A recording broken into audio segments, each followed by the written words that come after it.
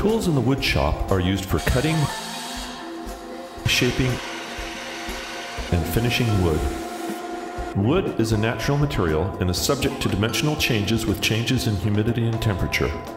Woodworking tools are not designed for tolerances as fine as thousandths of an inch, and tolerances of a hundredth of an inch require great care and frequent measurement. There are two wood lathes, a drill press, a power planer jointer, and a belt sander in the wood shop. There are also three different saws in the wood shop. The band saw, used for precision cutting and for curved cuts, the table saw or arbor saw, used for making long, straight, or angled cuts, and the radial arm saw, used for making short cuts or cross cuts. The band saw is similar to the band saw in the sheet metal shop. However, the blade is specifically for cutting wood and should not be used on any other material. The band saw can be used for making curved cuts and for making cross cuts in thick stock, but is most often used for cutting the corners off of square stock in preparation for shaping on a lathe, or for making straight cuts on a piece that has been shaped on a lathe. There is a blade guide on the bandsaw. It should be adjusted to be just slightly higher than the piece to be cut. The blade guide is held in place by a locking screw on the back side of the bandsaw. Loosen the screw. Adjust the guide to the correct height and then tighten the locking screw. It is best to use the guide or fence when making straight cuts. The fence has a locking lever that holds it in place. Raise the lever and then adjust the position of the fence. Press the lever down firmly to lock the fence into position. There is also a push rod based guide that can be used for making straight cuts when precise positioning of the piece is not required. The power switch on the bandsaw is clearly labeled. Push the start button to start the saw and push the stop button to stop it. To make a straight cut, place the piece to be cut near the blade and adjust the blade guide to the correct height, and the fence to the correct position if needed. Push the start button and advance the piece with a gentle, steady pressure. Do not force the piece, but let the blade do its work. Be sure to keep your fingers away from the blade. It will slice off fingertips quite cleanly and neatly, but cleaning up the blood is a major nuisance, and reattachment microsurgery is not always successful. Push the stop button when you finish the cut. A piece of square stock is often prepared for shaping on the lathe by cutting off the corners on the bandsaw. Calculate the positions of your cuts carefully. You want to end up with an octagonal prism, not a square prism that's 70% smaller than the original. Begin by drawing crossing diagonal lines on the top and bottom of the piece of stock. The intersection is where you will want to position the piece on the lathe. It is much more difficult to find the center after cutting off the corners.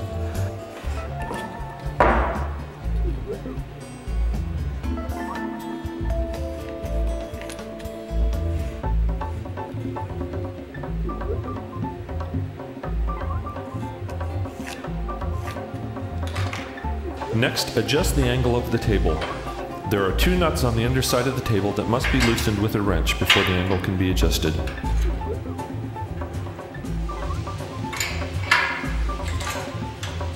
After loosening the nuts, adjust the table angle to 45 degrees. The angle indicator is on the underside of the table, on the front of the saw. Then retighten the two nuts with a wrench. Do not over tighten the nuts as they will not last long and must be replaced if repeatedly over tightened.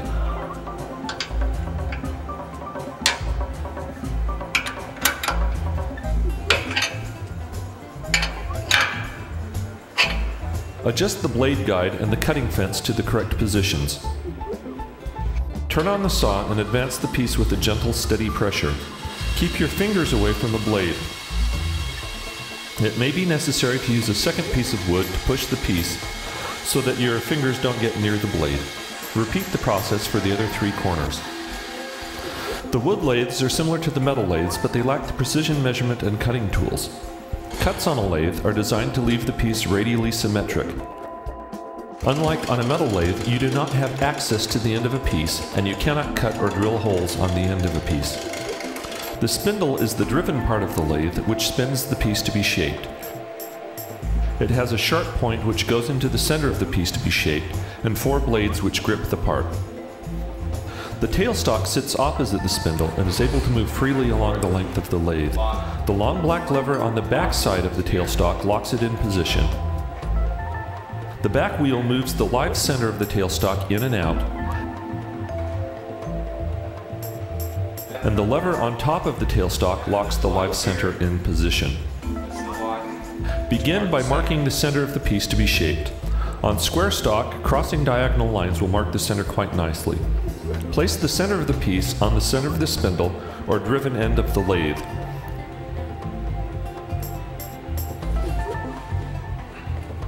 Slide the tailstock forward until the live center is almost touching the piece and lock the tailstock in place. Carefully advance the live center with the tail wheel until the pin is firmly in the center of the piece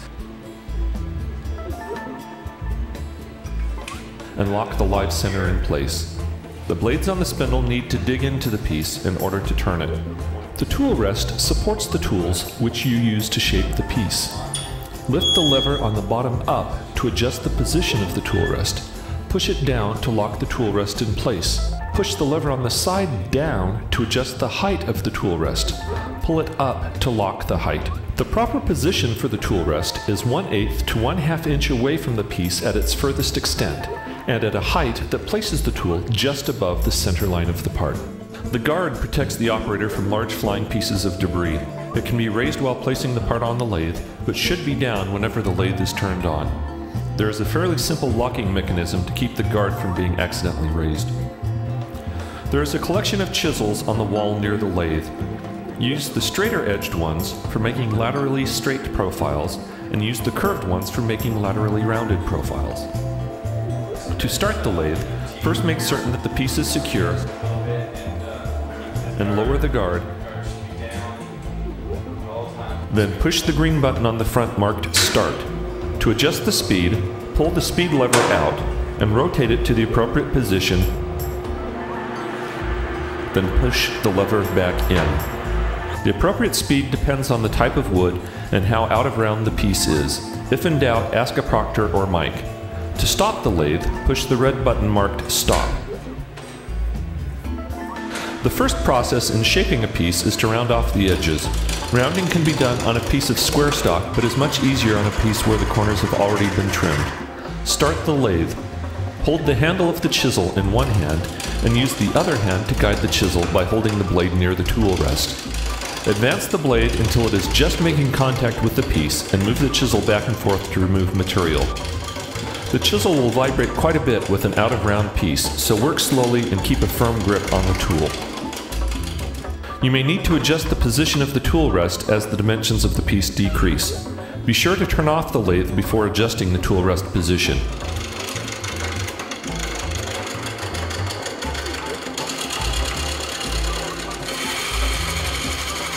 With patience, you will have a perfectly round section. It is sometimes advisable to leave square or octagonal sections on the ends of the piece to make the post-shaping steps easier, or when making table legs. Once the initial rounding has been done, the shaping of the final profile can begin. To measure the diameter at a specific location, turn off the lathe and use a pair of calipers. Never try to measure a spinning part. Great unpleasantness will ensue if you try.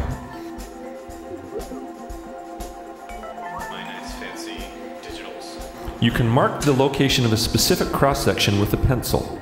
Turn off the lathe. Use a scale or ruler to mark the dimension from one end, always the same end, and place a mark on the piece with a pencil. Next, start the lathe and gently bring the pencil into contact with the piece at the location of the mark. You will soon have a line circling the piece. Just recognize that the line will disappear as soon as you start to carve the piece at the line location.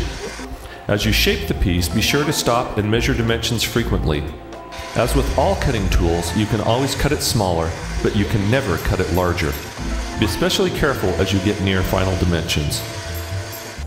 The table saw or arbor saw can be used for making cross cuts, which are cuts across the grain of a piece of wood, but is used more often to make rip cuts, long cuts along the grain of the wood.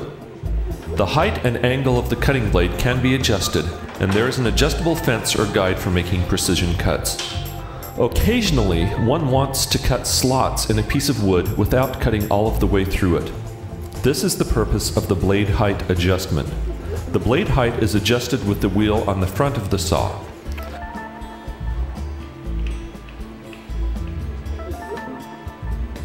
The angle of the blade can be adjusted with the wheel on the side of the saw for making beveled cuts, which are useful in making boxes and drawers.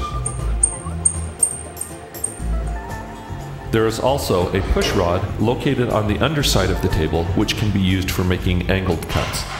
The fence can have one of two orientations depending on the thickness of the piece to be cut. To switch from one to the other, loosen the two screws on the side of the fence base and slide the fence off of the base. Slide it back on in the new orientation and tighten the two screws. Repeat the process to return it to the original orientation.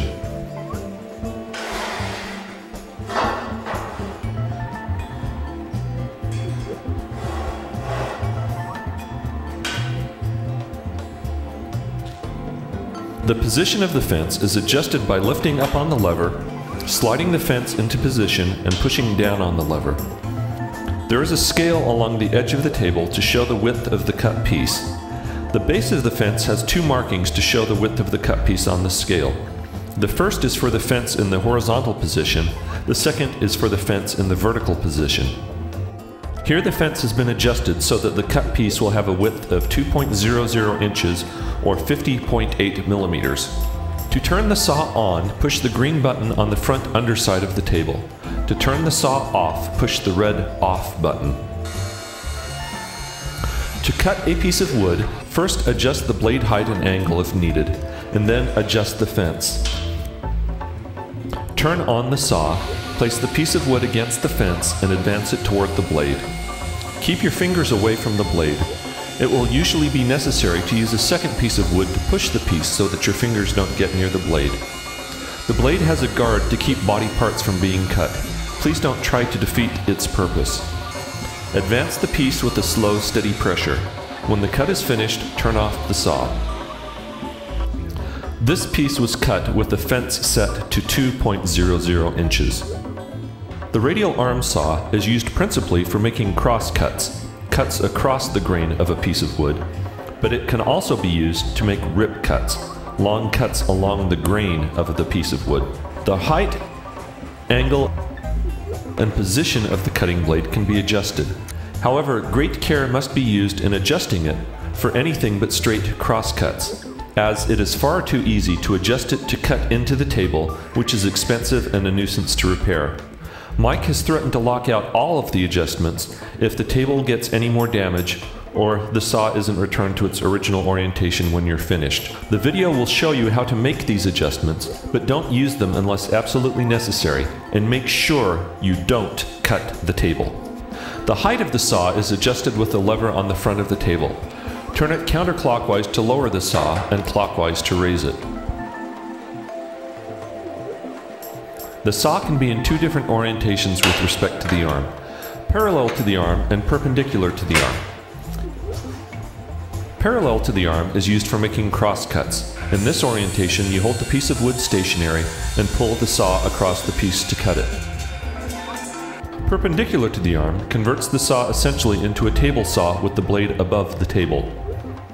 In this orientation, you lock the saw in position and move the piece across the saw. It's particularly easy to remove a finger or an arm in this orientation. To switch orientations, pull the lock lever towards the front of the saw. Then pull the release lever toward you. Rotate the saw until the release lever snaps back into place, and push the lever away from the front of the saw to lock the saw in the new orientation. The entire arm can be rotated to cut a piece at an angle. Be sure not to cut the table. To swing the arm, pull the release lever toward you, swing the saw into position, and then push down the release lever. You may want to test to make sure the arm is locked in position. In addition, the saw can be tilted to make angled cuts. To tilt the saw, firmly grasp the saw handle to support it. Pull the lock lever toward you and push the release lever up and to the left. For a 45 degree cut, rotate the saw until the release lever snaps into place and then push the lock lever back in. For any other angle, simply rotate the saw to the correct angle and push the lock lever back in. Make sure you don't cut the table. Be sure to return the saw to vertical when you are finished.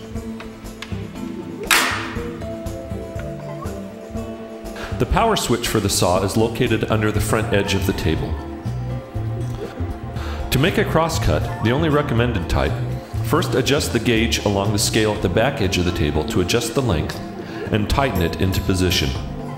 Next, push the saw all of the way back and put the piece in position. Then turn on the power and pull the saw toward you across the piece. Never push the saw across the piece. Because of the direction of rotation of the saw blade, pulling the saw across the piece will result in a smooth cut and the piece staying put. Pushing the saw will not result in a smooth cut and the piece may jump off of the table. The belt sander is for shaping and smoothing pieces of wood. It will remove a great deal of material in a short amount of time, so practice on scrap and measure carefully when working on anything critical. This is the power switch. Bring the piece to be sanded and shaped gently against the moving belt. Move it slowly and smoothly. When you are finished with any of the tools in the wood shop, you should clean up the wood chips and the sawdust.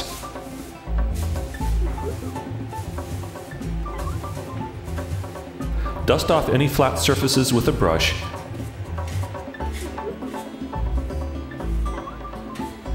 and then use the shop vacuum to clean up all of the remaining debris.